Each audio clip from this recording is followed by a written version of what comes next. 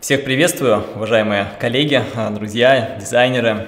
Напишите, пожалуйста, кто у нас сейчас в чате, напишите, какой у вас уровень, новичок вы профессионал, то есть очень интересно с вами познакомиться, кто откуда, буквально там о себе пару слов. А, Света, спасибо, да, представила. Я сейчас покажу для тех, кто меня вдруг, если не знает, а, о своей студии. Ну, сту о студии говорят лучше всего работа, наверное.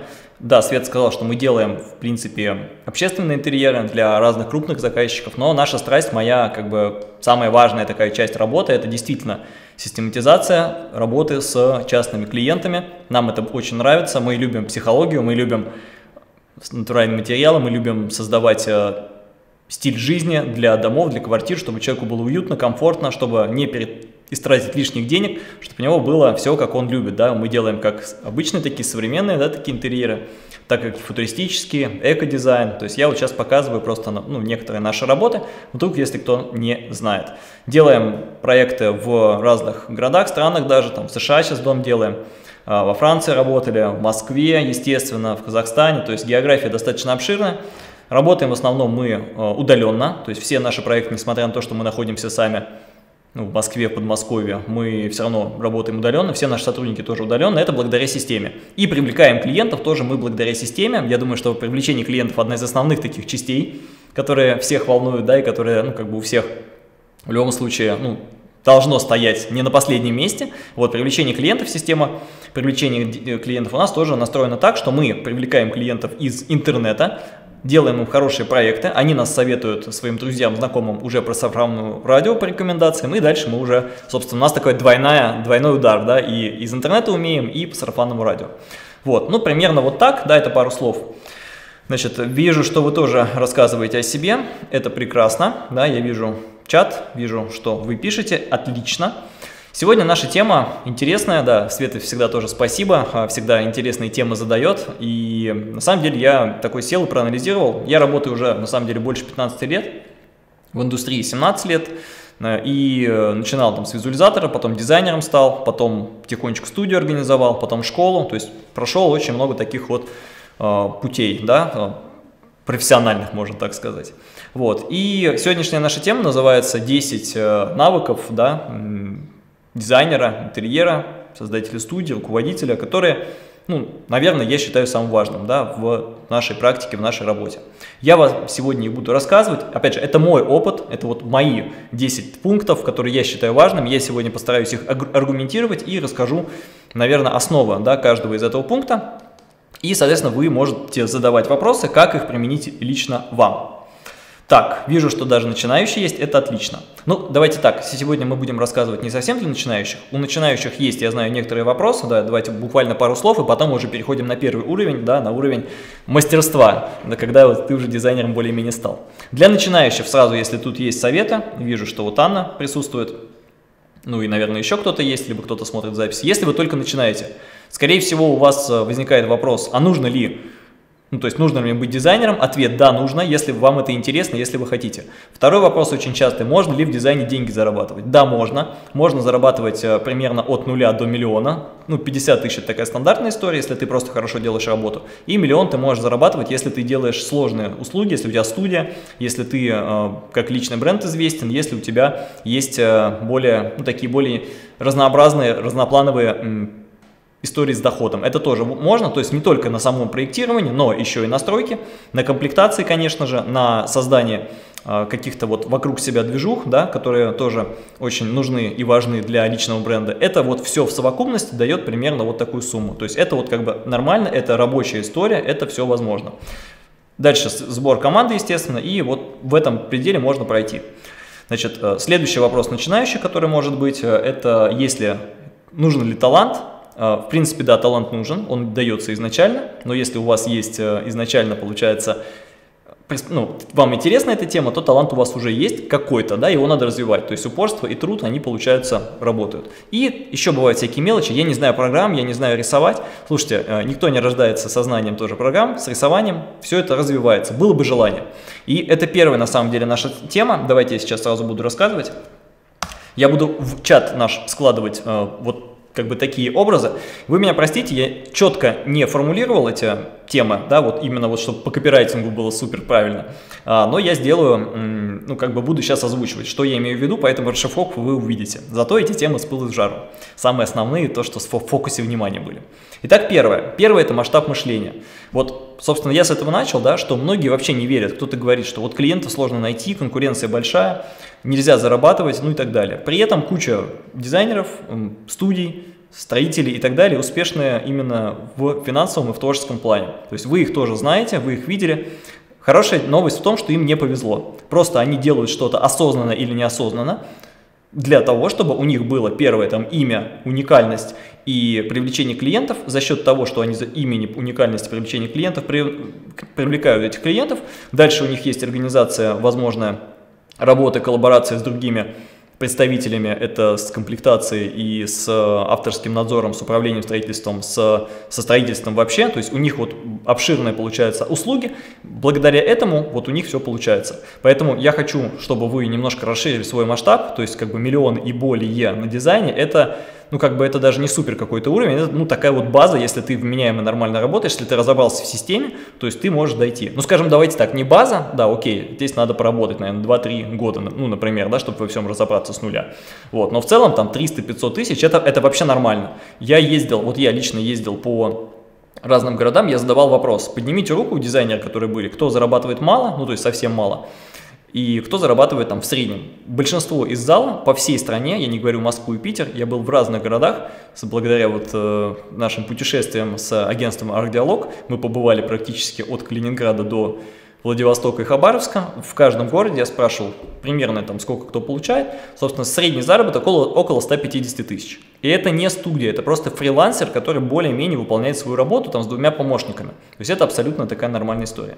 Я хочу немножко расширить ваше ну, как бы мышление, чтобы вы мыслили не вот даже не в средней категории там 50, 100 тысяч, 150, а чтобы вы сразу дальше смотрели, что нужно сделать для меня, что я должен сделать лично для того, чтобы выйти на 300, 500 и на миллион. Для кого-то эти цифры кажутся запредельными. Ну, не скрою, у меня то же самое такое было. Я четко, точно помню момент, когда я ездил в начале своей карьерной деятельности в электричке. И у меня вообще я не понимал, как я, что я через 20 лет только накоплю на однокомнатную квартиру.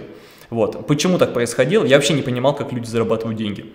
И почему так происходило? Потому что я думал, сколько, я, я очень глупую вещь совершал. Я считал, сколько мне нужно сделать проектов для того, чтобы вот по 400 долларов в месяц я получал, чтобы мне откладывая, да, там накопить какую-то ипотеку, да, вот, чтобы еще хотя бы что-то взять. Это неправильный способ, мне нужно было думать о том, как, какие более сложные, более интересные схемы, может быть, по бизнесу, либо по партнерству я могу сделать, я могу ну, я просто их не видел. То есть из-за того, что я не видел схемы, соответственно, масштаб мышления у меня был очень маленький. И это очень сильно ограничивает нас в росте. Поэтому первый навык, вот первый навык, к которому мы приходим, это именно масштаб мышления. Для, что с этим делать нужно? Как его расширять, спросите вы? Есть рецепт. Мы вот недаром а, проводим мастер-классы, мероприятия, дизайн-конференцию. Почему? Потому что хочется показать разные способы, как мыслят другие дизайнеры успешные. У каждого из них свой успех, да, и да, повторить его 100% нельзя, потому что вы никогда не окажетесь в тех обстоятельствах, которые были у него, никогда не сможете точно в ту же реку зайти, но это расширит как бы горизонт сознания, что вот у людей получилось, значит у меня получится. Самое главное задать мозгу цель, и тогда он пойдет. Вот это ключевая вещь, потому что многие люди даже не могут поверить, что это возможно. Вот поверьте, пожалуйста, что это точно возможно, и тогда уже будет проще и легче.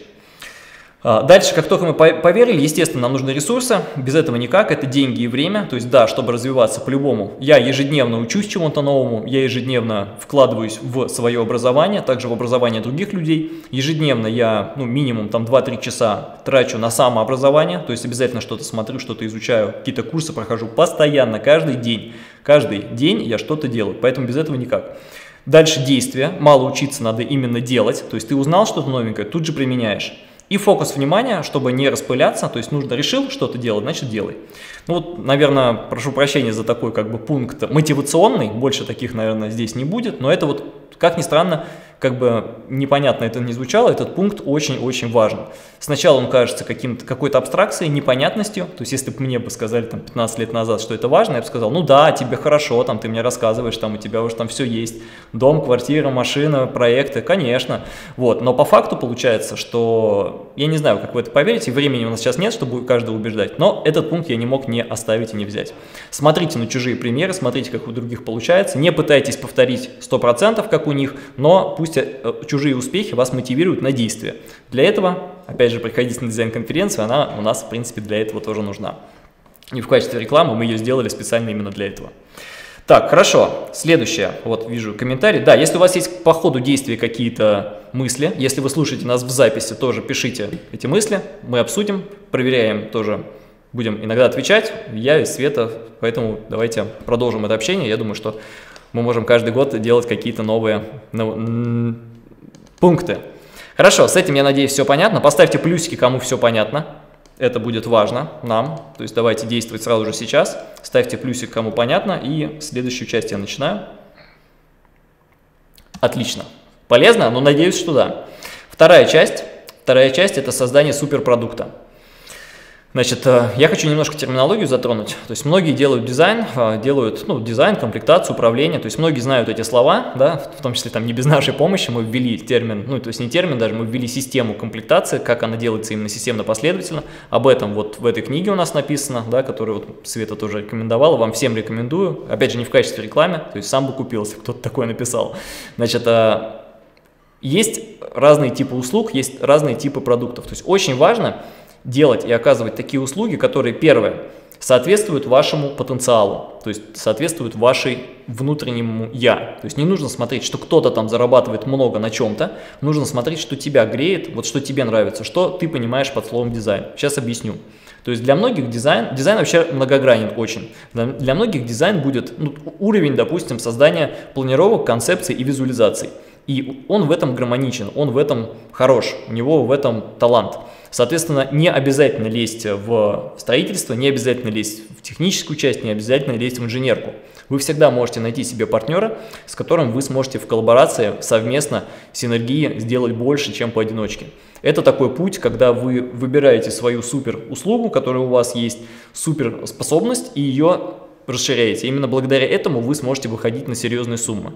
Кому важно выходить на серьезные суммы да, и делать качественно именно для себя, чтобы развивать свой талант, вот как бы это очень такая важная часть, Выбер, ну, вытащите то, что вам нравится. К сожалению, есть разные стереотипы, то есть если вы будете слушать и смотреть разных авторов, да, то есть каждый человек, который выходит на сцену, он считает, ну или там рассказывает, он считает, что его путь именно очень правильный, то есть именно так вот нужно всем. Вот говорит, надо делать так, а не иначе. Это неправда. Можно делать как угодно, что не противоречит законодательству. И, собственно, наша очень важная вещь заключается в том, что мы должны найти свой путь, то, что органично нам, и то, что нужно рынку. Это вторая часть здесь. Что такое рынок? Рынок это не какие-то абстрактные люди, это именно наш, наши клиенты, которые у нас покупают. Мы либо выбираем тех клиентов, с которыми мы хотим работать, и с ними работаем. Это может быть эконом-сегмент, это может быть премиум-сегмент, может быть VIP-сегмент. У каждого из них есть свои плюсы и свои минусы. И каждый из этих людей, у них есть там еще какие-то вкусовые предпочтения, да, по, по дизайну, например, современного стиля, либо классическим. И, по сути, у нас накладывается, у нас вот два таких шарика есть, да, которые накладываются друг на друга. У нас шарик наших желаний, что мы хотим, и шарик, получается, желаний клиента. И вот в это, на точке пересечения, я думаю, сейчас видно, да, вот точка пересечения по центру, мы находим вот наш суперпродукт. Почему он получается суперпродуктом? Потому что он наиболее нам органичен, нам наиболее просто его делать, его умеем делать мы и стремимся его делать. Допустим, это будет либо визуализация, либо это будет там реализация проекта, ну то есть кто-то со стройки заходит, кто-то заходит именно с комплектации, кто-то заходит с декорирования, кто-то заходит там с ландшафтного дизайна. Но есть какое-то глобальное понимание, там, на что именно вы учились, что у вас получается. И самое интересное, что именно вот эта суперспособность, есть суперпотребность еще у вашей аудитории. И ключевое здесь не делать вообще все для всех, все подряд, а найти свою нишевание, свою уникальность, не бояться отсеять лишнее, делать только то, что нужно. То есть это страх внутри нас сидит, сейчас я расскажу, от, откуда этот страх возникает и как с ним бороться, который не позволяет вот сконцентрироваться на том, что у нас лучше всего получается. Именно из-за того, что не получается сконцентрироваться, мы теряем очень много, мы теряем, по сути, в деньгах, в развитии, в том, что мы решаем себя возможности как бы выходить э, и занимать лидирующую позицию рынка. Откуда берется страх э, узкого нишевания, да? откуда берется страх, ну, как бы не веры в себя и, и невыбирания себе правильной аудитории? Очень просто. Чаще всего, чаще всего это возникает из-за того, что нет у дизайнера опыта маркетинга, нет опыта привлечения клиентов. То есть вот помните, мы самый первый пункт сказали, что нету как бы масштаба мышления. То есть мы даже не можем поверить, что клиенты возможно получать не по сарафанному радио чаще всего, а просто сделав правильную рекламу, правильную упаковку. То есть у нас нету просто опыта, нас винить в этом нельзя. Мы вот не умеем ходить, например, да, если там ребенок не умеет ходить, он не знает, что можно. То есть у него какие-то инстинкты есть, но вот он как бы, пока не пошел, не знает. Рано или поздно, естественно, он до этого дойдет, но лучше раньше, чем поздно.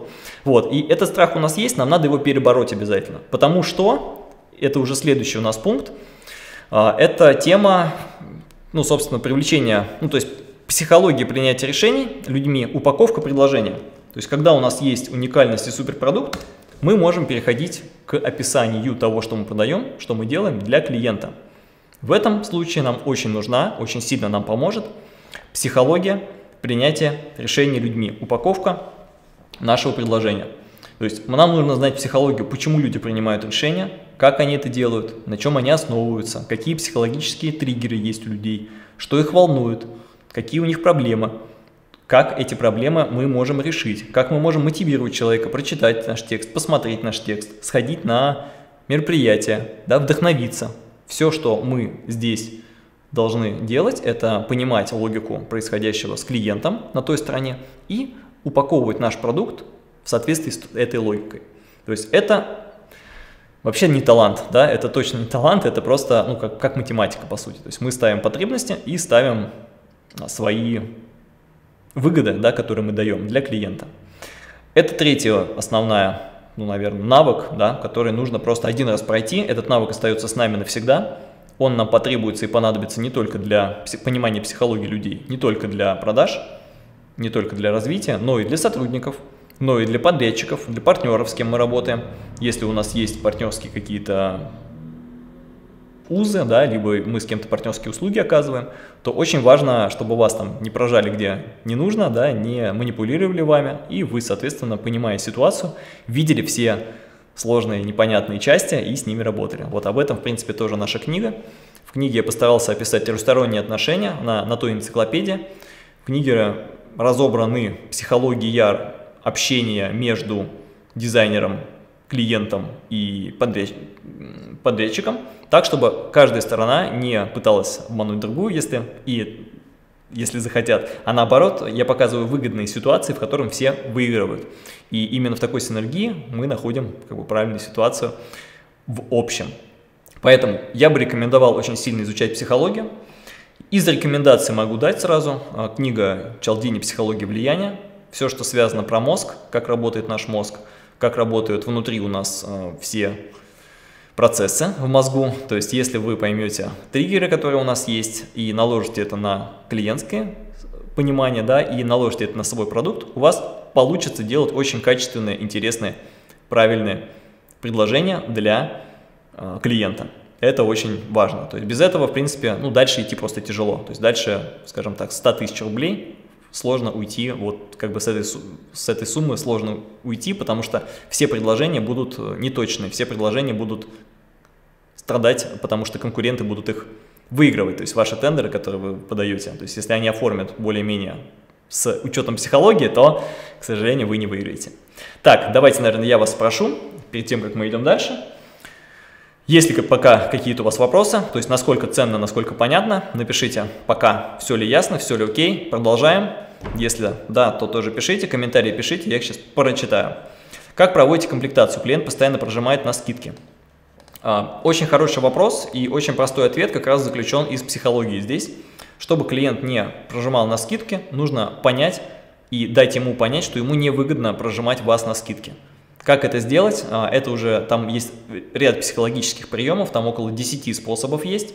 Почему нельзя один универсальный сделать, сделать способ? Потому что нет какой-то супер один, одной универсальной фразы, которую ты сказал, да, знаете, как дет, в детстве, да, королевская печать и все. Такого не бывает. Почему? Потому что, сейчас объясню.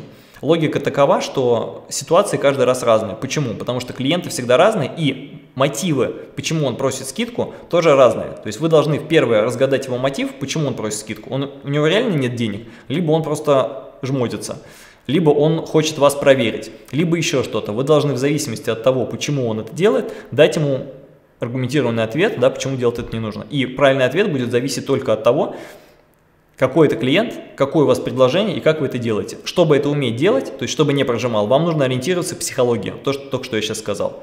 Поэтому этому надо учиться. Этому реально как бы учиться. У нас на третьем модуле там, по созданию студии, по продажам, это блок, огромный блок, он есть, там несколько часов, собственно, всего опыта, который у меня есть, я как бы рассказываю, можно это внедрить. Также это в книжках тоже есть, можете почитать, посмотреть, ну, в общедоступных книгах в разных по психологии э, влияния. Так, какой уровень э, похода в средне, дохода в среднем у новичка? У новичка в среднем уровень дохода в зависимости от того, который он себе назначит.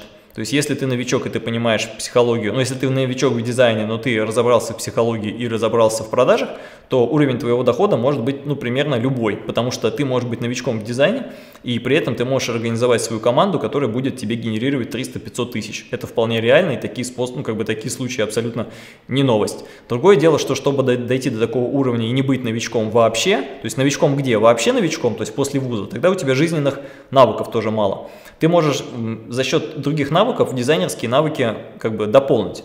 И наоборот, ты можешь быть супер крутым дизайнером с 20-летним опытом. Я таких примеров очень много знаю. Но ты не можешь просто у тебя ни сайта нет, ни ты не можешь э, о, себе рассказать. То есть я таких встречал, даже на работу, то есть они как бы пытаются взяться, ну или там я говорю, покажите, пожалуйста, ваше портфолио, да, посмотрим, ну, на, на, на что-то. И в итоге он достает телефон и на каком-то телефоне, там на старом, чуть ли не кнопочном, показывает свои проекты, которые еще фотографировать нельзя. У него ни сайта, ни социальных сетей, то есть он социально не адаптирован. О каких доходах э, идет речь вообще? То есть он может быть сколько угодно дипломированный специалист, сколько угодно мастер по всем мастерствам, но у него, ну, я не закажу, и другие люди не закажут, потому что с ним невозможно найти взаимодействие. И наоборот, да, то есть вопрос как бы не, ну, вопрос, в общем, даже не насколько ты новичок да, в дизайне или не в дизайне, насколько ты можешь соединять все эти навыки, о которых я говорил, в единое целое. А каждый это может по-разному. Поэтому только дизайна навыка недостаточно. Да, хорошо, если он есть, хорошо, если ты можешь видеть, аргументировать, умеешь делать и так далее, но в целом нужны все навыки в какой-то пропорции. Всему этому надо учиться. Чудес не бывает. Если бы все было очень просто, да, там, как рассказывают, значит, прошел там чего-нибудь курс по визуализации и сиди под пальмой, да, отдыхая, а все само работает. Ага, Такого не бывает, чудес не бывает, э, интеллект он нужен, обязательно интеллект надо развивать каждый день, как я сказал, тогда все получается. И мир еще меняется, то есть то, что было ранее, способы уходят, но благодаря развитому интеллекту и пониманию психологии вы можете адаптироваться вообще в любой ситуации, хоть в кризис, хоть в карантин, куда угодно. То есть хоть на Северном полюсе вы сможете делать дизайн. Вот, поэтому ответ примерно такой. От каких клиентов стоит отказываться и как правильно говорить «нет» клиенту? Хороший вопрос. Окей, я думаю, давайте сейчас пройдем пункт, а потом мы еще ответим. Может ли дизайнер-одиночка работать один или много зарабатывать, э, или это тупиковая история, нужно масштабироваться. Э, в целом в одиночку сложно, потому что у вас времени не хватит. В одиночку, если ты возьмешь, я приведу пример, вот, вот вы хотите, допустим, в одиночку сделать премиум-сегмент. Премиум-сегмент, чтобы вы понимали, да, это как минимум там тысячи метров вы берете дом, да, и его надо сделать, ну, достаточно быстро. Вы в одиночку не сделаете тысячи метров, просто никак. Либо возьмете корпоративного клиента, либо ресторан возьмете, вот там мы в Москве-Сити делали, допустим, там 6-8 тысяч метров, три башни. Вы в одиночку будете 5 лет это делать. Ну, то есть, в принципе, это, ну, как бы нереально. А масштабирование через, там, более крупные проекты, они, оно так и происходит. Поэтому, ну, просто законы физики не обманешь на каком-то уровне, как правило, уровень 300 тысяч уже, ну, то есть, до, на самом деле, после 150 уже надо масштабироваться. То есть, если дошел до 100-150, значит, уже нужно срочно это делать, иначе, ну, дальше просто будет провал. Вы откатитесь назад, либо вы наберете много заказов и провалитесь, ну, либо просто не сможете взять какой-то хороший заказ, потому что, ну, у вас не будет ресурсов, и вам его не дадут. Хорошо, с вопросами чуть позже, давайте идем дальше, чтобы все успеть. Переходим к четвертой части. На вопросы я в любом случае отвечу, да, в конце, я думаю, у нас время останется. Четвертая часть – это понимание интернет-маркетинга. Очень важная тоже эта история с интернет-маркетингом. Почему? А, потому что на самом деле в этом будущее, ну, то есть на самом деле не будущее, а уже может быть прошлое, настоящее и будущее, все там. С чем это связано? А, очень-очень круто сейчас настроены YouTube, Facebook, э, Google, да, вот все, что с этим связано. Почему? Потому что они знают о нас все. Нам уже не нужно, это как бы и хорошо, и плохо, да, с одной стороны хорошо тем, что нам очень просто настраивать рекламу, с другой стороны плохо, потому что очень много неталантливых э, новичков, как мы понимаем, да, они пользуются услугами вот э, интернета и, по сути, ну, условно нечестным, да, по мнению многих способом, получают несправедливо, да, получают лучших клиентов. То есть, по сути, новичок вообще, нулевичок может получить премиум сегмент, а суперпрофессионал не получит. Почему? Потому что, опять же, суперпрофессионал не рекламируется, он считает это выше своего достоинства, он считает к нему, что само, сами придут, а молодой парень, который вышел после института, еще он даже ничего не умеет, он себе настроил рекламу и получил премиум сегмент. Клиент не понимает, хорошо он делает, плохо он делает, он, но он не шарит, клиент не понимает. Он сделал визуализацию и берет лучших заказчиков. Все, мир несправедлив, с этим надо смириться. И что делать? Ну, то есть, либо смириться, да, либо что-то делать. Поэтому хорошая еще новость вот в чем заключается, что один раз научившись принципам настройки и вообще понимания работы интернет-маркетинга, это создание, это работа в чатах, да, это создание квизов, это работа в пабликах, да, ВКонтакте, это в группах работа, это понимание, как вообще все устроено и как работает. Умение создавать э, странички посадочные, конверсионные, чтобы клиент приходил. Умение создавать оферы, спецпредложения, чтобы клиент приходил. Умение вызывать доверие на этих страничках, чтобы вас выбрали. Умение описать свой продукт так, чтобы клиент понял, что ты молодец, а, и что тебе стоит доверять. То есть вот такие все умения, они связаны с психологией, опять же, смотри выше пункт, это очень важный пункт, и связано с умением и пониманием, принципов работы интернет-рекламы, интернет-маркетинга. Давайте сразу несколько каких-то советов дам, да, чтобы у вас было понимание, как... Давайте дать вам наиболее оптимальный на данный момент способ настройки какой-то рекламы, либо вообще всего. То есть я вам концепцию дам, дальше, естественно, это не надо своими руками делать, вы нанимаете себе какого-то помощника, но вот принцип я могу рассказать, как делается. То есть вы понимаете, вижу, да, Значит, все очень просто. Не надо ходить на какие-то суперкурсы, не надо там тратить время, не надо, вообще не надо ничего. Очень просто. Берете Facebook. Facebook связан тесно с Инстаграмом. Это большой плюс. Клиенты сидят в Инстаграме. Ну и сами, я думаю, вы тоже понимаете, да, что они там сидят. Что надо сделать? Надо сделать всего одну вещь. Нужно создать супер предложение, которое связано с вами, с, вашей, с вашим суперпродуктом и с вашим аудиторией. То есть да, вам придется поработать, то есть вам придется по-любому понять, кто вы, чем вы отличаетесь, уникальность. Без уникальности это не получится, придется заранее поработать. Кто вы, какая ваша уникальность, кто ваша аудитория, какой продукт вы им даете. И пятое здесь, какое можете дать тест-драйв, как бы супер предложение. То есть то, что клиент кликнет. Единственное, что вам нужно сделать, написать это и оформить в креатив некий. Креатив может быть это в виде текста в виде картиночки плюс текст, это может быть стиль какой-нибудь, да, например, ваш, либо это видео какое-то. Говорит, здравствуйте, я дизайнер, я специализируюсь на том-то, том-то, сейчас там делаю проект по такой цене, мое там супер или там спецпредложение такое-то. Делаю там планировку, например, или концепцию, делаю стоимостью 50 тысяч, в подарок делаю вам а, там, ну, допустим, троим людям, да, с такими-то объектами. Вот, просто это дело опубликовав, напустив туда рекламу, можно получать клиентов. Но это еще не все. Это достаточно просто. Чтобы все это работало, нужно что делать? Нужно обязательно эм, использовать такую хитрость, которая называется, то есть сначала ты показываешь свое видео какое-то полезное, ну, например, можно записать полезное видео э, по болям клиентам. Как э, новоселам согласовать планировку. Просто видео такое записываешь, ну представьте, да, либо как, э, что там еще, как найти строителей мечты. Просто видео, ничего никому не продаешь, либо статью просто пишешь. Как выбрать дизайнера. Любое видео, которое отражает э, боль вашего клиента, одну или несколько, можно обзор делать. Записывайте видео, выкладывайте это в сеть, это можно сделать в YouTube, ну в YouTube, наверное, нет, в Facebook выкладывайте. Что происходит в этом случае? И даете на него рекламу. В этом случае те люди, которые посмотрели это видео, 5 секунд, 15, 20, 30, 50, минуту, оно вам система показывает. И дальше вы берете этих людей, то есть, допустим, их там будет 10 тысяч человек, которые посмотрели ваши видео, скорее всего, из них те есть, которым это было интересно и которые ваши клиенты.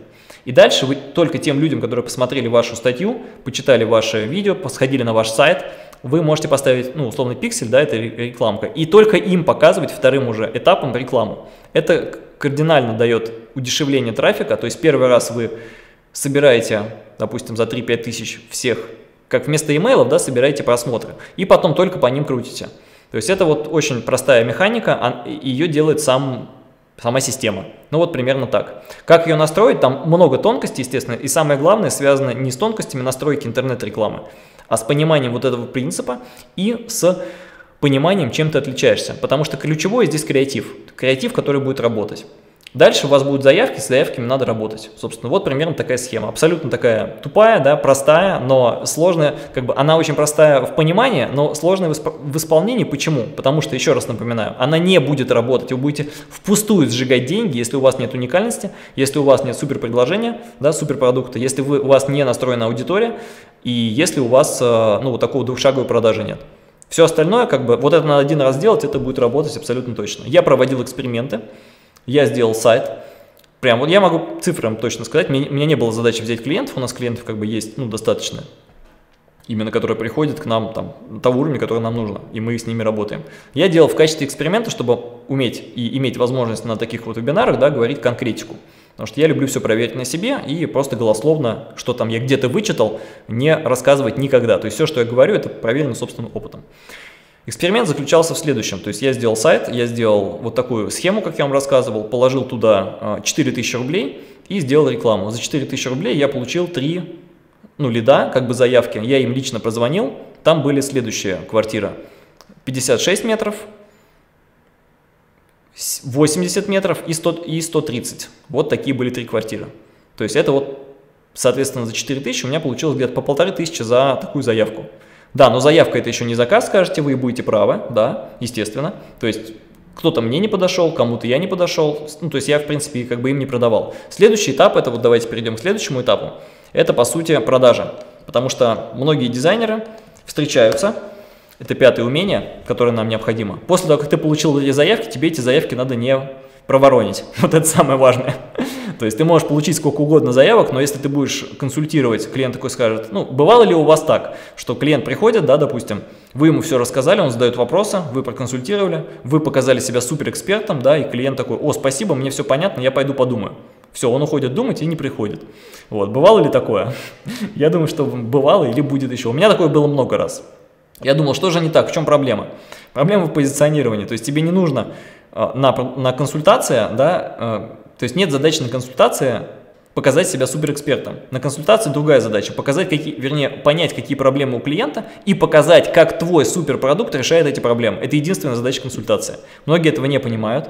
Многие не понимают, что такая консультация делается по шаблону, это технологии пятишаговая, я сейчас заострять внимание не буду, но кому актуально, сможете там ко мне прийти, я вам там покажу, расскажу. В общем, это технология, по которой просто надо вести клиента, и все. И если ты действуешь по технологии, даже не ты, ты можешь любого там девочку поставить, если она будет действовать по технологии, а, у тебя будет 50% твоих клиентов потенциальных, а вернее, да, потенциальных будут приходить в реальных.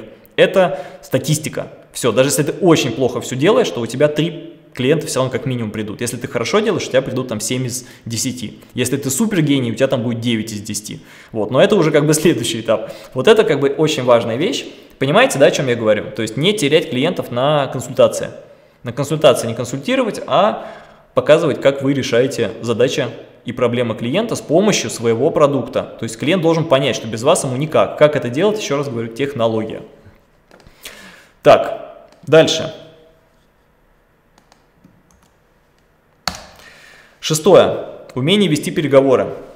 Здесь мы говорим уже, допустим, все, всем все нравится, и тут переговоры идут у нас по цене, по срокам, по исполнению, по, э, в процессе даже мы начали работать, там каждый нас пытается, ну, как-то вот прижать, отжать, да, что-то, да, каждый пытается свое нам навязать. Клиент не согласовывает там варианты, да, то есть у нас еще в процессе, в общем, работы возникает очень много ситуаций. Клиент говорит, а я думал по-другому, я думал, это входит, а это не входит.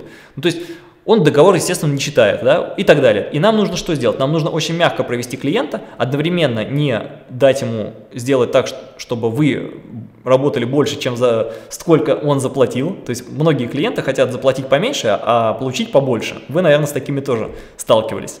Да, напишите в комментариях, если сталкивались интересные истории, когда клиент не платит, а требует больше. И по его мнению он прав. И, соответственно, нужно очень четко, очень мягко отстаивать свою позицию, чтобы клиента ни в коем случае не поссорить, с собой, и ни в коем случае, чтобы он не подумал, что там вы не хотите что-то делать. То есть вы должны, во-первых, четко фиксировать все договоренности, это уже менеджерская работа. И второе, то есть это называется иметь ну, сильную позицию дизайнера, да. И второе, вы должны на переговорах очень мягко ее показывать, так, чтобы клиент сам сделал вывод, что разумно вам доплатить.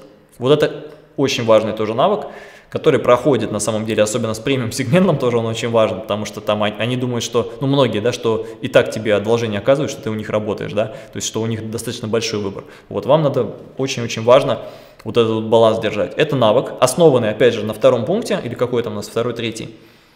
А, в третий пункт – это психология принятия решений людьми. Вот, это тоже туда же. А, но применение другое. Навык вести переговоры ну, везде во время проекта. Так, Угу. Один раз в начале пути клиенту сделал аж 9 вариантов планировок. Вот, молодцы, да. Я в начале пути сделал 4 варианта не планировок, а дизайн, дизайна. Я нарисовал 4 варианта дизайна. И в итоге, когда я сказал, что у меня вообще уже денег нет назад на маршрутку, чтобы возвращаться к клиенту, что мы точно должны сдать, он говорит, ну ладно, тогда принимаем первый вариант. Я просто не знал, как бы, что, что можно вести переговоры. Был, а клиент у меня был очень опытный переговорщик. Он, у него было много разных бизнесов, и он, естественно, собаку съел на хитрых вот таких вот переговорах, поэтому ну, легко меня заболтал. Вот я сделал 4 варианта, пока у меня все деньги не кончились полностью вообще, то есть, ну, то есть 0 было рублей в кармане вообще, я бы до, до дома не доехал.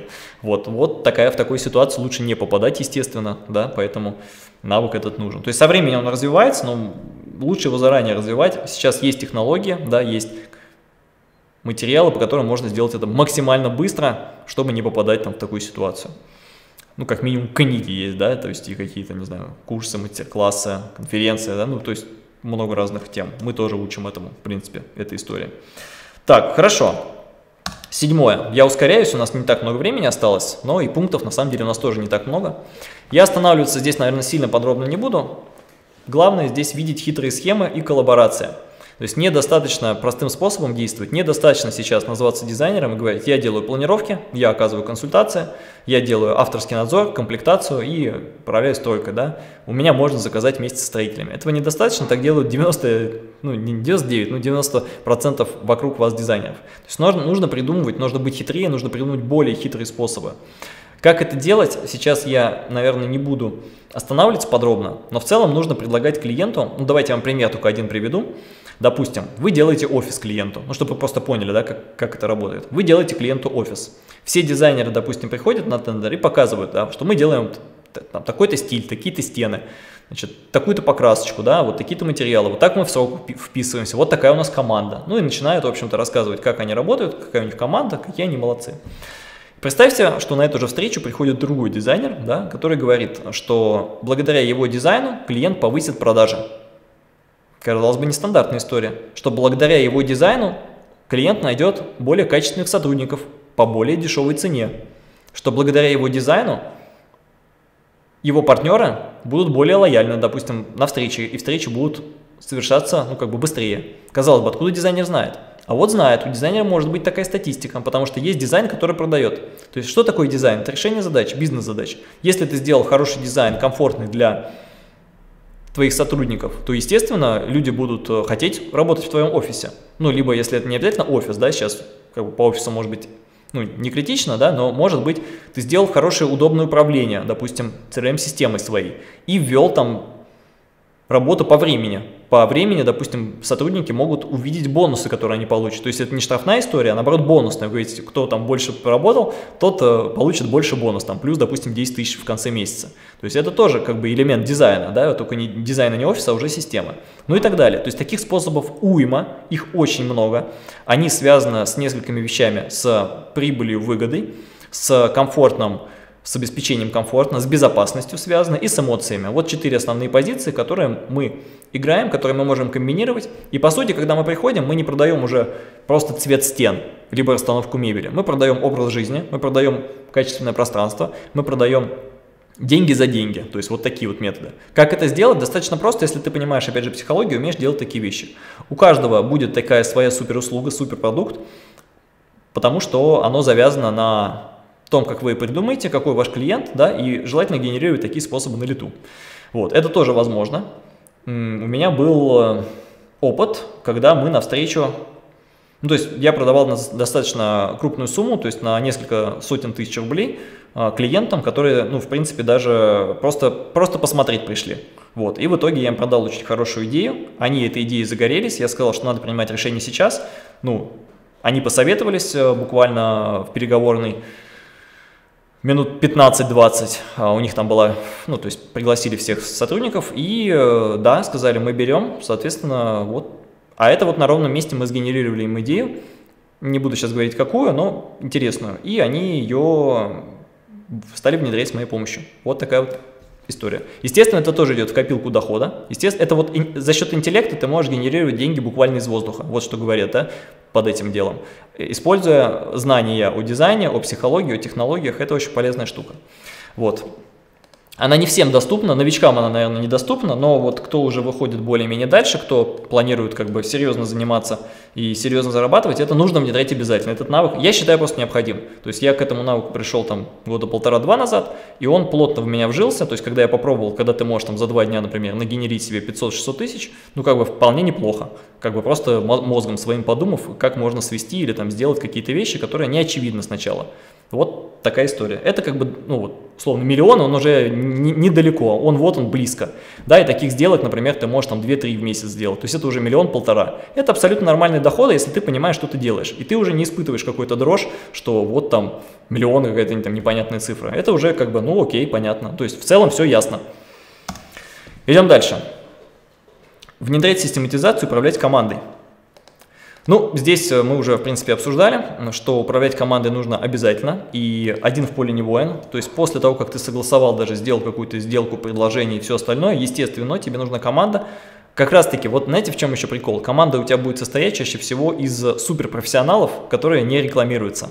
То есть у, него, у них отличный опыт, они там супер с архитектурным образованием и вот вообще молодцы, супер декораторы, супер там ландшафтники, супер-супер спецы, но у них нет странички, им некогда этим заниматься, они в себя не верят, они думают, что это все какая-то новомодная фигня, что это какие-то шарлатаны, что это вот какие-то юные мальчики и девочки, да, вот и они они, вы знаете, любят очень сильно в где-нибудь на форуме или в Фейсбуке где-нибудь вот развернуть, что «Ах, мир несправедлив». Да, мир несправедлив, смиритесь уже с этим, и вас наймут этим юные мальчики и девочки, умеющие работать с клиентом и знающий психологию. Соответственно, вы, если такой, да, то есть вот начинающий, вам рекомендуется нанимать как раз-таки опытных профессионалов, ну, которые, ну, только адекватных, да, не те, которые пишут, да, там какую-то фигню, а адекватных, нормальных ребят, они просто не умеют это делать, а вы их нанимаете. Это нужно обязательно, потому что все вы делать не сможете. Вы специалист в чем-то одном, что вам нравится, то есть, допустим, в управлении, в планировках, там, в дизайне, в подборе, в да в чем угодно. Если вы специализируетесь, допустим, на декорировании, ну вот есть там декоратор, да, допустим, девушка вот декоратор выучилась, она вот именно к этому, она общается с премиум сегментом и придумывает образ, кто будет чертить. Ну то есть должен чертежник быть, она не может быть одновременно декоратором и чертежником. Ну это, это разные ну, специализации. Одновременно там считать это все, то есть люди аккуратные, которые вдумчивые цифры считают, бухгалтеры, да, они ну как бы менее креативны чаще всего, да, если они не развивают эту тему и так далее. То есть ты не можешь все супер навыки в себе совмещать. Ты берешь свой супер навык, на остальное ты приглашаешь супер профессионалов. Вот это вот ключевая здесь позиция. И не стоит этого бояться, это единственный правильный и верный как бы, ну, вариант развития. И вот мне, например, истинное удовольствие доставляет, когда другие люди э, делают э, мой проект лучше меня. Вот для меня это лучше похвала. То есть, когда мои визуализаторы, которые обучились же по моей технологии, то есть я беру ребят, обучаю их технологии визуализации, который, ну, сам изобрел, который, сам, на который сам миллионы заработал и передал уже дальше людям, они делают по этой технологии уже лучше меня. Почему? Потому что каждый день из года в год они этим занимаются. Я уже как бы от этого отошел, то есть я могу сесть все нарисовать, но они это сделают лучше, быстрее, у них под рукой все модели, все текстуры, там у них есть новые рендеры какие-то, там корона, не корона, я уже этого даже не знаю, знать не хочу, мне это не нужно, мне принцип нужно понимать, что он есть и я знаю, как бы, как оценить их работу, да, и, соответственно, они делают лучше, чем я. Так это же прекрасно, нет, ну, тут нет какого-то сломленного эго, наоборот, в моей студии работают лучше сотрудники, вот это самое классное. Вот, поэтому делегирование очень важно, очень полезно. Так, и систематизация здесь, конечно же. На этом этапе уже очень многих будет проблема в том, что Многие работают командами такими, сплоченными коллективами. Знаете, такая гигея, вот 3-5 человек собрались, и каждый что-то делает. То есть каждый делает какую-то работу там в офисе. Это путь в никуда, тупиковый путь. То есть должен быть кто-то главный, кто организует регламент, кто делает, э, ну, как бы основную систему, и становится, выполняет функцию руководителя. Да? Это очень важно. Соответственно, все остальные, они, они не под ним, они его партнеры, но очень важно распределить функции. Если ты распределяешь функции, у тебя все прописано, то ты можешь, в принципе, не лезть в проект, потому что умные люди сделают все как надо. То есть ты выполняешь только свою функцию. К примеру, я вот делаю проект, ну вот сейчас там я веду парочку, вот, соответственно, я веду их как? На уровне понимания задачи, общения с клиентом, сдачи с клиентом проекта, э, с получением авансов и получением там финальной оплаты. Ну почему? Потому что там премиум сегмент, я вот с ним общаюсь. Я вот сейчас вот до эфира, значит, премиум сегменту как раз таки вот э, делал э, табличку, что мы уже сделали, там 20 помещений по дому, и буду оформлять, буду записывать видео, чтобы он посмотрел, и буду с него собирать обратную связь. Он не будет ни с кем общаться с другим из моей команды, только со мной. Ну, как бы он премиум, он платит за это. Вот как бы у меня такая вот функция на данный момент. Это нормально. Дальше мы, как, как только я понимаю задачу, договариваюсь с ним, что мы делаем это, а не то, уже есть чертежник, который начертит, есть визуализатор, который нарисует, я посмотрю, скажу, да, наверное, нормально могу показать, и смогу ему согласовать. То есть концепцию мы придумаем вместе, а дальше каждый берет свою часть и делает это продуктом. То есть это вот очень важная вещь. И самое важное, что мне не нужно контролировать, мне не нужно каждому лично подходить и говорить, слушай, дружище, ты делаешь там планировку, ты делаешь там визуализацию. Каждый уже знает, в каком ячейке он находится, что ему делать. То есть моя задача просто вытащить все данные, отдать, и там уже по системе само происходит. То есть этим самым я очень сильно освобождаю свое время для вот таких эфиров, для там, личной жизни, для путешествий, когда можно было, будет, для новых идей, потому что моя работа как руководителя – двигать свою компанию вперед. Если этого я делать не буду, если я не буду изучать маркетинг, продажи, если я не буду заниматься ну, другими вещами, связанными с привлечением и клиентов, и сотрудников лучших, то, соответственно, у нас будет стагнация, и в итоге ничего не получится. То есть помимо того, что я очень увлечен работой именно дизайнером, и делаю это половина времени, да, половина времени мне еще приходится развивать эту тему дальше. То есть это не то, что приходится, то есть мне интересно, да, это моя тоже специализация сейчас стала, но я уже должен это делать как работу. То есть это тоже очень важный такой аспект. Вот, а если я буду отвлекаться, то я это не смогу сделать профессионально, ну как надо, и все в итоге пойдут ко дну. А мы этого не хотим, мы хотим развиваться. Так, девятое, сейчас еще пару пунктов, быстренько заканчиваем и да, спасибо, Света, книгу, да, спрашивает. Девятый пункт – это прокачивать личный бренд. Тоже очень важная тема, я сейчас на этом останавливаться не буду, я думаю, Светлана очень много об этом тоже рассказывает. Я вот очень рекомендую Светлану Рок компанию. Если по личному бренду, то именно давайте так, концептуально мы можем построить, что нужно, то есть это можно со мной, да, допустим, тоже сделать, пообщаться, помочь, посмотреть, там мы сможем. А вот продвижение, наверное, никого лучше на рынке в целом нет, потому что ну, потому что нет. То есть это я как бы знаю. То есть вообще в целом людей, специализирующихся на продвижении, как бы нормальных, не шарлатанов, достаточно мало. А в дизайне, наверное, и э, чуть ли не единственный, да, хороший специалисты, которые действительно делают результат. Это вот точно можно сделать. Но до того, как идти продвигаться, вам нужно концепцию, понимание, э, умение уникальность свою найти, ну и, в общем, поработать над собой. Поэтому абсолютно точно. Так, и десятое, давайте такие личные навыки здесь расскажу. Что нужно? Нужен копирайтинг, видеокопирайтинг и презентация. Это личные навыки, ну, как бы человека, да, если вы планируете быть известным, если вы прокачиваете личный бренд, собираетесь, нужно освоить технологию. Тоже нужно сесть и освоить. Копирайтинг уметь писать, четко, ясно, лаконично выражать свои мысли. Точно так же записывать видео, без надрыва, без э, каких-то там дублей, в общем, желательно с первого раза, и естественно, чтобы это получалось. И презентации делать, когда вы выходите на сцену, вы должны не БМ, а нормально рассказывать, может быть даже без э, шпаргалки, то есть в голове должен быть встроенный план.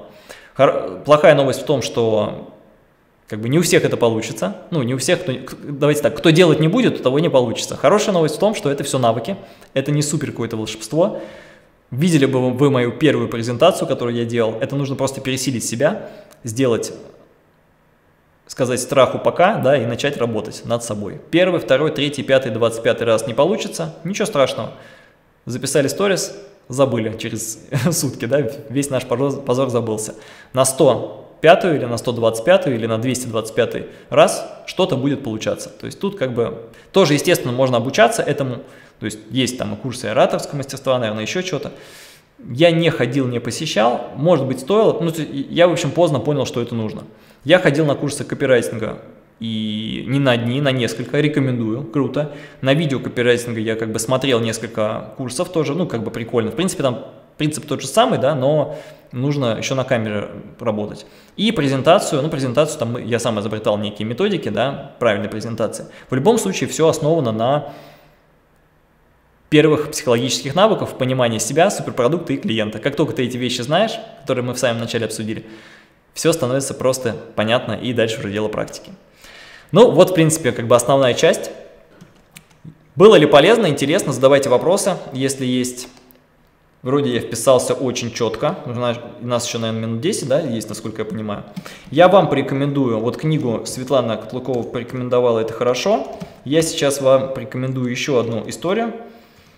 У нас есть э, «Как найти свой путь», да, вот мини-курс есть, очень тоже рекомендую, он такой базовый, который дает вход в систему правильного мышления. Вот, если мы говорим о правильном мышлении, вот если вы хотите как бы более подробно, более детально на протяжении 6 часов детально на каждом уровне разобрать каждую ситуацию, вот есть такая штука, она тоже недорогая абсолютно, то есть в районе там 3-4 тысяч а, вы можете приобрести, посмотреть очень полезный курс, расширяющий именно мозг расширяющий сознание. То есть это вот прям очень полезная штука, прям точно и доступная в принципе всем.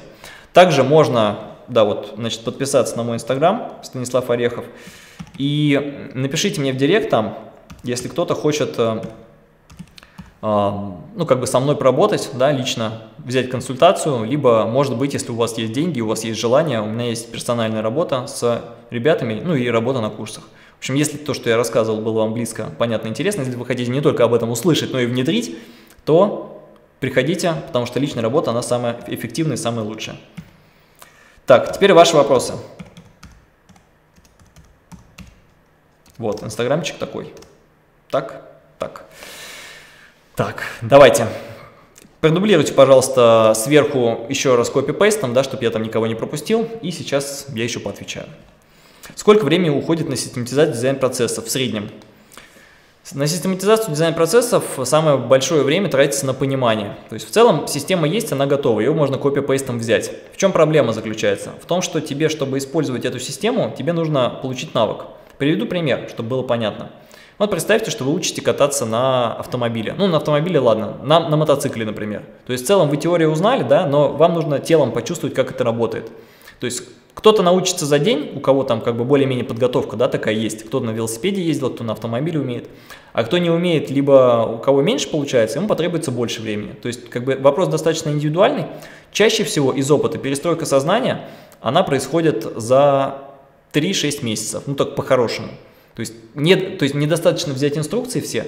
Почему обучение длится? Ну вот у нас, допустим, годовая программа есть, на которой мы проходим все вот эти все 10 навыков, которые я сейчас сказал. Почему нельзя быстро это все сделать? Потому что мозг не впихнет эту информацию. Потому что каждый месяц просто статистика такая, что чтобы у тебя внедрился новый навык, это ну, психология, да, учет, физика, вернее, в мозгу э, от 20 до 40 дней нужно, чтобы навык внедрился. Каждодневного использования, ну то есть каждодневное что-то делание. Вот, соответственно, вот 10 навыков ты примерно за год можешь внедрить. Каждый навык за месяц. То есть если ты как бы средний уровень. Если ты супер эксперт и супер профи, допустим, можно быстрее. У меня, когда я дошел до уровня супер профи в плане продаж и переговоров, я внедрил навык этот продаж и переговоров, ну, как бы на, на хорошем уровне примерно за 2 недели. Но это супер результат такой, быстрый очень. Потому что я каждый день практиковался. Просто я поставил себе цель, мне нужно это сделать максимально быстро. Вот, это супер профи. А так вообще навык, допустим, продаж, он месяц или два. То есть от месяца до двух, это средний. Вот, если вы, ну, как бы не очень далекий человек и вам тяжело дается все, ну, наверное, наверное, полгода уйдет. Ну, то есть тут очень индивидуально. Скажем так, от двух недель до полугода. В среднем, наверное, месяц. Вот так. Так. Может ли дизайнер-одиночка работать один и много зарабатывать? Это уже было, мы рассказали. Вот, кстати, про тупиковую эту ведь может или не может. Э, вот ту ссылку, которую я сейчас дал, которая называется там, на заработок на любимом деле, там я показываю от нуля до миллиона. Там показывается, как пройти путь как раз с нуля, с 50 тысяч до миллиона. Какие навыки нужны. Я показываю, что это не фантастика, это простые, понятные действия, которые тебе нужно совершить, и навыки, которые тебе нужно знать. То есть с каждым уровень дохода у тебя растет не потому, что тебе больше платят клиенты почему-то, а потому что у тебя возникают более интересные способы заработка. И потому что у тебя появляется команда. Соответственно, там написано, вот на 100 тысяч тебе надо вот это, на 150 вот это, на 300 вот это, на 500 вот это, на миллион там личный бренд уже нужен, ну как бы тяжело без личного бренда будет. Либо супер команда какая-то, либо супер какой-то там эксклюзив где-то. То есть у вас должна быть какая-то суперспособность дополнительно, тогда вот миллион как бы стабильно вам обеспечен. Если этого нет, ну типа извините, как добиться, есть э, значит рекомендации, как это делать. Вот, там расписано вот этот путь пошаговый, вот рекомендую пройти материал вот этот очень хороший ну, прямо горжусь этой. В принципе, я всем горжусь, что делаю. то есть не потому, что я себя хвалю, потому что это объективно, это ну, одно из лучших э, в индустрии, наверное, действительно, вот то, что я делаю, именно вот каждый блок, он очень системно разобран. Ну, вы, наверное, сами тоже видите, то есть, в принципе, я фигню сейчас не буду рассказывать. Поэтому, да. Как вы считаете, нужно ли дизайнеру отдельно учиться бизнесу или достаточно книг общего понимания? Э, книг, э, ну, давайте так, значит, по книгам, как бы, вы можете в книгах и в общем понимании понять себе принцип работы, но обучение, короче, чем, чем знания нам не нужны, вот в чем проблема. Нам нужны навыки, э, навыки получения результата, вот что нам нужно. Навыки, к сожалению, по книге, ну, не получается сделать, либо это очень дорого, ну, долго, дорого и так далее. Вообще, как обучение идет? Там есть три формата, это тоже не я делал, я, я был на курсе по развитию мозга, один, ну, то есть мы проходили курс там две недели, и там мы всякие ну, методики по развитию мозга как бы, ну, тренировали. Вот, и там нам преподаватель рассказывал интересный такой момент, он говорит, что для того, чтобы тебе навык внедрился, у тебя там, ну, как бы три кита есть, значит, получение информации.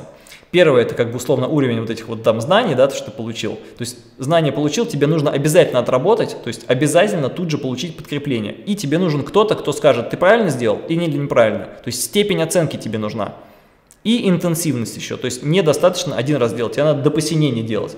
Вот если эти три фактора собираются, то есть ты сидишь, делаешь до посинения, и тебе кто-то говорит, это правильно, это где-то э, это неправильно, и у тебя одна тема, ну то есть в единицу времени, тогда у тебя происходит навык. То есть если просто так, переходя на книги, да, если ты просто так читаешь в месяц по одной книге, ну то есть у тебя 10 лет уйдет, если ты даже не будешь все равно делать то, что там написано, и ошибаться, и кто-то тебе, ну или кто-то, или жизнь тебе не будет говорить, что вот ты потерял 300 тысяч, например, на договоре, ну, значит, ты что-то сделал неправильно. Просто это дорого получается. Вот, поэтому, как бы, с одной стороны можно, с другой стороны это долго и дорого. То есть, если есть возможность, идеально, да, это либо, ну, брать для ускорения, в общем, и для... Самое главное, короче, обратная связь. Вот самое-самое главное – обратная связь. Я вот даже по опыту тоже отметил, что ты читаешь что-то или смотришь, и ты, когда читаешь, ты читаешь со своего опыта, то есть ты читаешь со своей позиции, говоришь, а, ну понятно, там все ясно. Даже вот вы сейчас слушаете эту лекцию, ну мою, да, вот условно рассказ, и каждый это на себя проецирует, и у каждого свое понимание, и каждый понял что-то свое. А но я хотел донести вообще другое сейчас, понимаете? То есть, чтобы вы поняли, что я хотел донести, я должен у вас у каждого не в формате вот такого вебинара, да, спросить, а что ты понял? Что ты понял из этого пункта? Как каждый пункт, который я сейчас сказал, ты можешь применить прямо сейчас для своего бизнеса, для себя лично?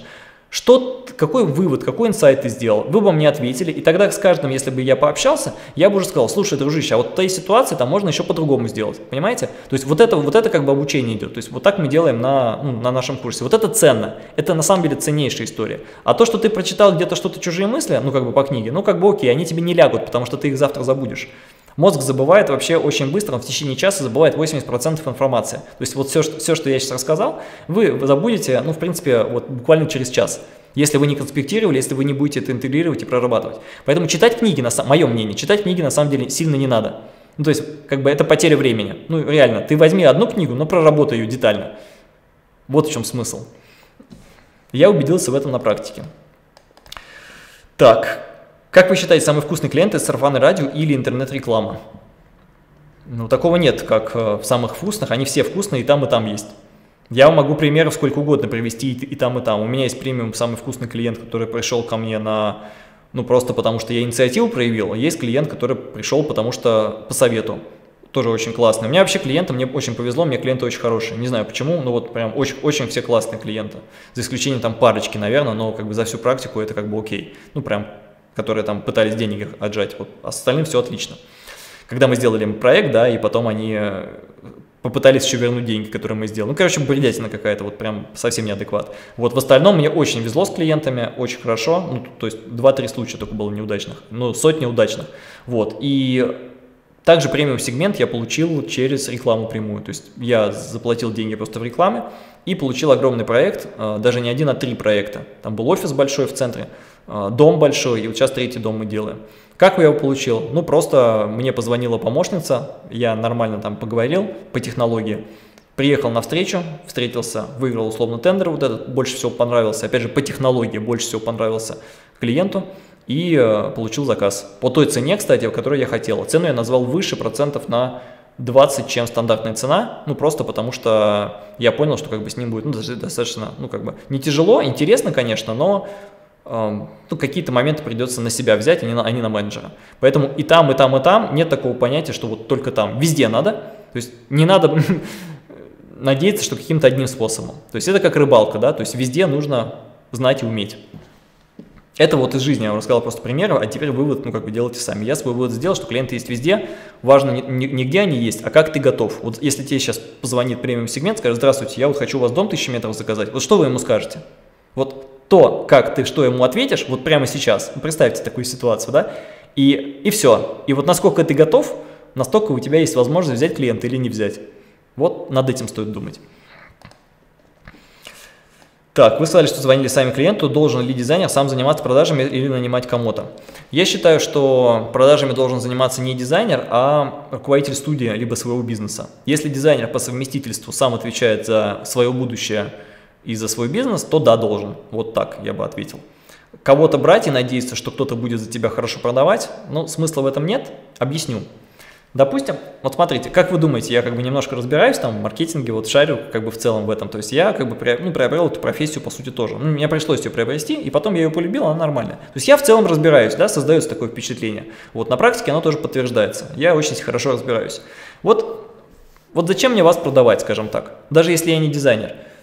Или зачем мне продавать только вас? Если я умею продавать, мне выгоднее взять 10 таких дизайнеров, как вы, и сделать пул дизайнеров, то есть условную карусель. Если я умею привлекать клиентов, я скажу ему следующее. Смотри, уважаемый клиент, Тебе какой стиль понравится больше? Тебе какие дизайнеры больше нравятся? Я вас поставлю в выборку и скажу, вот ты выбираешь этого, отлично, у нас с тобой агентский договор, я собираю с тебя деньги просто, да, и тебя выбираю. В следующий раз другого. То есть я не буду только тебя представлять. Зачем мне это делать? Если ты только не супер гениальный какой-то, супер-мега-эксперт, да, там, не знаю, какой-нибудь, кто там у нас самый модный, Филипп Старк, да, или там Келли Хопман. Если вот ты не супер топ-звезда мирового уровня, то есть как бы чем ты сильно отличаешься? Непонятно. А если ты непонятно чем отличаешься, ну, а, и я на самом деле тоже сильно сильно ничем не отличаюсь, да, как бы я примерно на вашем уровне по сравнению там с мастодонтами, на общем уровне, да, не, то, что на вашем, на общем уровне таком. Поэтому я не найду себе кого-то, кто будет меня продвигать вот до небес. Только я сам могу это сделать. То есть я сам беру ответственность за, ну, за себя, за свою судьбу и двигаю вперед. К счастью, это несложно. То есть несколько месяцев достаточно для того, чтобы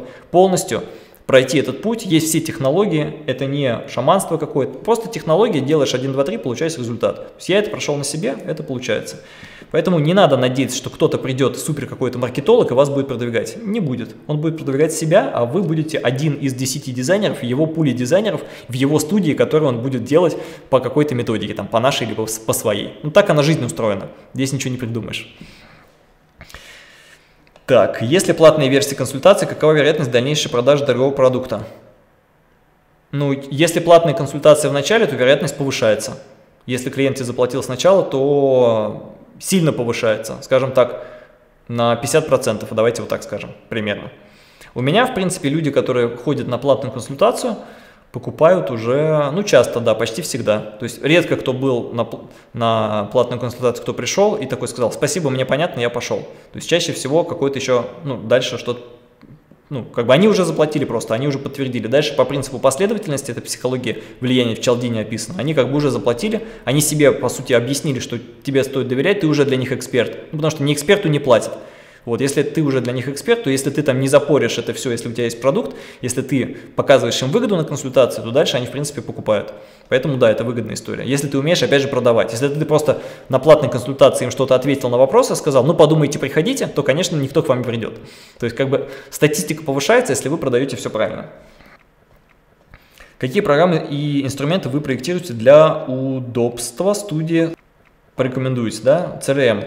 Мы используем Basecamp, нам достаточно. В принципе, вот так. Вы не работали с партнерами в плане партнерского бизнеса. Партнерство – это тоже навык. А, это не навык, это просто как договорная позиция. Ну, то есть в целом надо... Я нет, я, я как бы для этого не сильно предназначен, потому что у меня очень мне, короче, смысла в этом особо нет. Мне проще систему построить, чем партнера брать на не закрытую тему. Я беру партнеров в каких-то не ключевых вещах, ну, то есть, допустим, мы делаем, ну, вот, допустим, конференцию мы делаем, вот у нас там три партнера, там, я, Максим Вересов и Света Котлукова, вот мы делаем вместе. То есть, это как бы не ключевая тема нашего бизнеса, это просто поддерживающая, одна из таких дополнительных услуг. То есть, в партнерстве, допустим, я могу помочь кому-нибудь, там, вот я сейчас книгу свою написал, я сейчас ребятам помогаю тоже написать, там, это сделать. То есть, ну, частично, как бы в партнерстве, можно сказать. То есть, это не ключевая история, а ключевые истории лучше, ну, как бы у себя держать и полностью отвечать за себя. Ну, мне, мне так кажется. Тут уже каждый сам выбирает. Если ты заключаешь партнерство, то тебе по-любому нужно, э, чтобы у тебя было прописано, как вы будете там расходиться, какие у кого пожелания, потому что в какой-то момент жизненные обстоятельства ну, меняются, и прежние договоренности, они как бы недействительны, если ты договором их не подписал. Поэтому я бы рекомендовал начинать с этого. Кого брать в первую очередь, на ком а, отрабатывать навык делегирования? Надо взять помощника себе в первую очередь, менеджера, и попытаться ему передавать все задачи, и на нем можно потренироваться. У вас бизнесовый склад ума, если человек не системный, то можно ли нанять какого-то системного человека в команду управляющего? А, это не какая-то суперспособность. Это, короче, это развивается.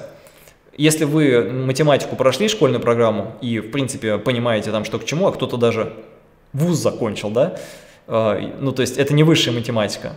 Э, высшая математика гораздо сложнее, там, то, что сейчас рассказываю. То есть, если вы умеете решать логарифмы, например, то ваш ум подходит для того, чтобы э, разложить по полочкам. По сути, потому что все это зависит от того, в какие коробочки что положить. Эту логику надо понять, а, для себя логически объяснить, и потом ты уже сам будешь генерить. Это не у меня такой ум, это просто я этим занимаюсь уже 10 лет, э, систематизацией, и поэтому я уже как бы, ну, как, как рыба в воде здесь.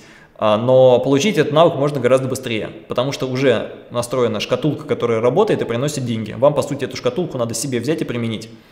Это я не считаю... Давайте так. Мое мнение таково, что каждый навык, он может быть развит. Да, вы не будете супер гениальным там математиком, либо систематизатором, но вам это и не надо, вам надо всего лишь построить свою студию. Для этого достаточно обладать навыком на уровне, там, ну как бы на базовом, скажем так, на уровне один месяц поучиться, вот примерно так. Я, ну, например, я же там не гениальный продавец, ну, как бы я понимаю, я просто сносно продаю. То есть по сравнению, я по сравнению с какими гениальными продавцами, я вот вообще на супер плинтусе. Но мне достаточно моего уровня, потому что как бы для моих клиентов это окей. Вот, поэтому вам не нужно быть супер топом и супер талант иметь, вам достаточно делать нормально. Но если вы делаете каждый навык в совокупности хорошо, то у вас общий результат очень-очень сильный. Очень мотивирует, спасибо. Пожалуйста, Делайте, внедряйте, пишите отзывы, подписывайтесь на канал, совет, советуйте друзьям. Еще, кстати, у нас работает телеграм-канал, там мы тоже отвечаем на некоторые вопросы. Рекомендую. System Club называется в телеграме. Так, сами ведете клиентов? Да, веду. Что вы делегируете, в чем сами занимаетесь, студия? Ну, я рассказал уже частично, да, то есть, в принципе, повторяться не буду понимание задачи, понимание концепции, делегируем визуализацию, черчение, планировку, ну, оформление. Ну, то есть я стараюсь по максимуму делегировать все, что можно, э, все, что нельзя, ну или там, что мне интересно лично, какие-то продукты, какие-то проекты, с кем-то лично общаться, либо что-то придумать, я вот беру себе. То есть я сам определяю, что мне делать в каждом конкретном проекте. У меня нет как бы обязаловки. Как считать, какой момент стоит, создавать студию и уходить из фриланса? Э, в тот момент, когда вы готовы по навыкам и по работе. Я рекомендую, вот ответ Вера да, спрашивает, ответ на этот вопрос заключен в курсе 7 плюс 7, как бы с нуля до миллиона на любимом деле. Там прям точно показано, в какой момент. Там вот конкретный ответ на ваш вопрос. То есть в какой момент вам надо решать уходить. Там список из э, всех позиций, которые вам нужны, собрать как пазл для того, чтобы понять, я готов, я ухожу. Вот прям вот специально для этого вопроса я сделал этот материал. И также наоборот, когда мне понять, что мне нужно там уже команду собирать. Как только у тебя там, словно 300 тысяч, доход там есть, как только у тебя там проектов больше, чем нужно, как только налажен поток клиент, ну этих самых, э, да, клиентов, да, как только у тебя есть то-то, то-то, то-то, вот можно, можно идти дальше. Как, пока нету, ты очень сильно рискуешь. Соответственно, ты просто как пазлы собираешь навыки, как дорожная карта у тебя по сбору навыков. Вот примерно так. Расскажите о проектах за рубежом, плиз. Я думаю, сейчас мы уже не успеем. А что интересует, спрашивайте. То есть мы делаем удаленные проекты, клиенты, с клиентом общаемся вот так же, как сейчас с вами, по скайпу либо по зуму. Обмеры нам предоставляют местный дизайнер, либо архитектор, либо обмерщик. И дальше мы общаемся с клиентами, все то же самое. То есть каких-то таких вот супер... Ну, для меня это как бы стандартная история. Нам без разницы, что делать, что на Кипре, что в США, что... Ну, только часовая разница, да, там, что в Казахстане. Мы прямо сейчас ведем вот несколько проектов. В Казахстане один, значит, э, в, на Бали у нас... Ой, вернее, в Таиланде у нас сейчас один проект будет. Вот сейчас ведем переговоры. В США сейчас делаем. Ну, то есть, в принципе, у клиента есть за рубежом интересные даже, интересные проекты. По материалам, да, возникают вопросы, какие там, но это изучаемо, то есть вы можете клиенту дать задание, спросить, можете с ними обсудить. Некоторые а, проекты мы отсюда отправляем, то есть вот сейчас у нас будет задача собрать из Москвы материалы и какие-то ну, элементы мебели, там, короче, комплектовать здесь и отправить. То есть тоже интересный такой опыт. То есть всякие хитрые способы придумать, чтобы клиенту это было выгодно. Тогда это будет работать. Ну, все сейчас я не смогу сказать, мы уже заканчиваем. Вот что-то конкретное пишите в телеграм-чат, либо приходите на консультацию, поработаем. Так, вопрос из прямого эфира. Вы контролируете свою команду в решениях по дизайну, по идеям при работе над дизайн-проектом. Как общаетесь с клиентом по данным решениям? Ну, в зависимости от того, какая у нас функция, то есть если у меня...